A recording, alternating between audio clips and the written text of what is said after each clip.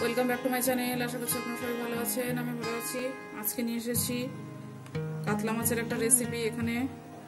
পাঁচ পিস কাতলা মাছ আছে, একটু বড় সাইজের করে করা। তো ধনিয়া কাতলা বানাবো।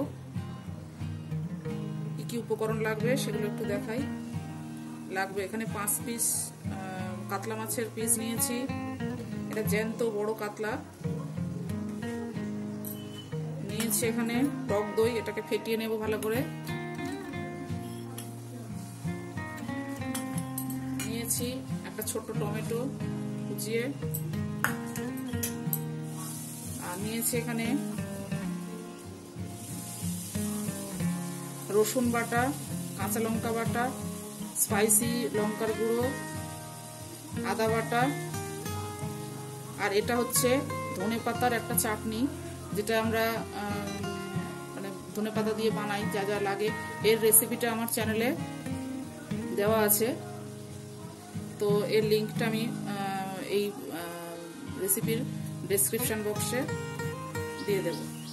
তো এই চাটনিটা দিয়েই ধনে পাতার চাটনিটা দিয়েই আজকে রেসিপিটা হবে কাতলা মাছের।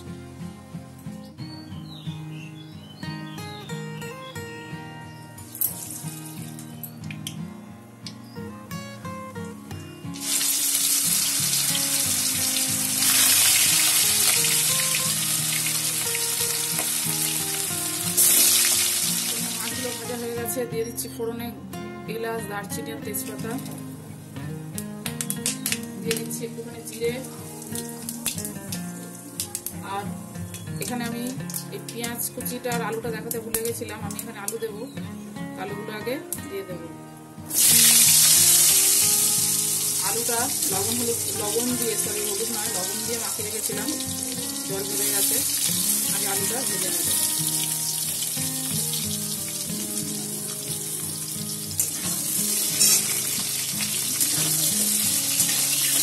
আলুটা ভালো করে ভেজে নেব তারপরে পেঁয়াজগুলো দেবো।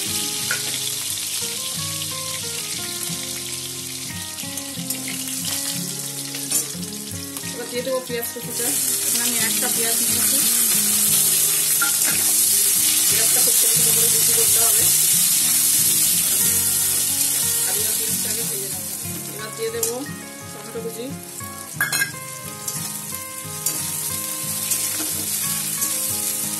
নেড়ে নিয়ে দিয়ে দেবো মশলাগুলো।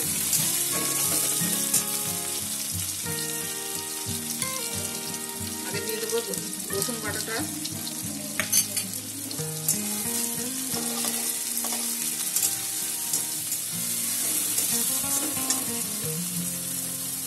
দিয়ে দেবো চাটনিটা বাদে বাকি উপকরণগুলো দিয়ে দিচ্ছি। চাটনিটা একটু পরে দেবো, মশলাটা কষানো হয়ে গেলে। একটু জল দেবো দু চামচ মতো জল দিচ্ছি মশলাটা কষানোর জন্য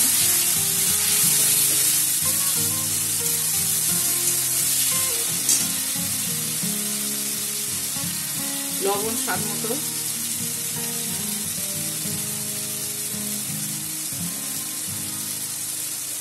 হলুদ পরিমাণ মতো।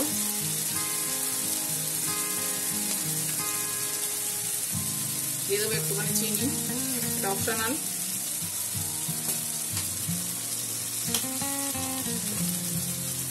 ভালো করে মশলাটা কষিয়ে নেব।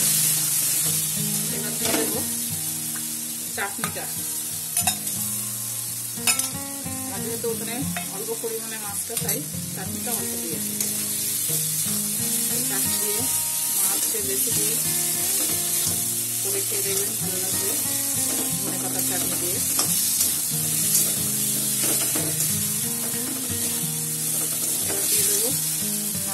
লো করে দিয়ে টক দইটা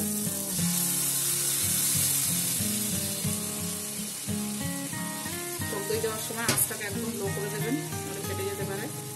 দিয়ে দিলাম টক দই, ভালো করে নেবেন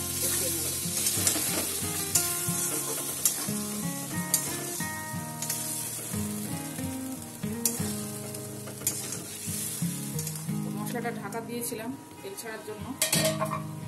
মশলাটা একদম তেল ছেড়ে গেছে আর আলুটা অনেকটা সেদ্ধ হয়ে গেছে। এবার মশলাকে হাই ফ্লেমে দিয়ে ভালো করে কষিয়ে নেব। আর এই সময় দিয়ে দেবো কাসুরি মেথি আর গরম মশলার গুঁড়ো।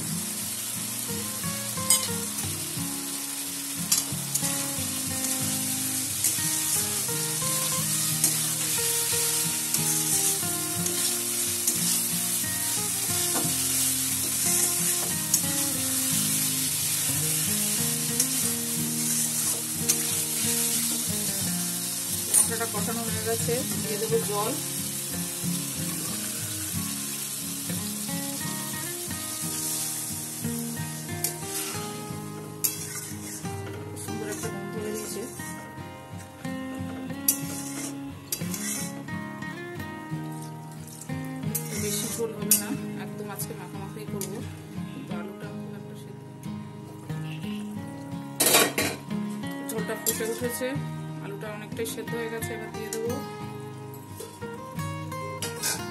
ভাজা মাছগুলো। ভাজা মাছগুলো দিয়ে আমি ঢেকে দেবো। আর মাছগুলো আমি এরকমভাবে ভেজেছি, খুব কড়া করে ভাজিনি, আর খুব হালকাও ভাজিনি। দিয়ে দেবো দুটো কাঁচা লঙ্কা।